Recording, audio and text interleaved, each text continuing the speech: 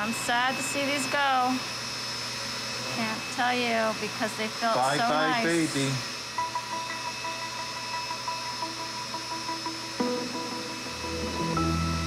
Good. That's gonna be okay. You okay over there? I'm sorry. I'm just always emotional. Watching the procedure, it just made me so emotional that finally there was an answer, and Dr. Lee just made me feel so at ease. How did you guys meet? Roller skating. Roller skating. He was trying to help me Oh. learn how to skate. Yeah, I kept teaching her. She got better at it and she had more fun.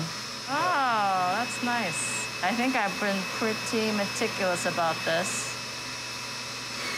That looks good. Oh my gosh, that's amazing.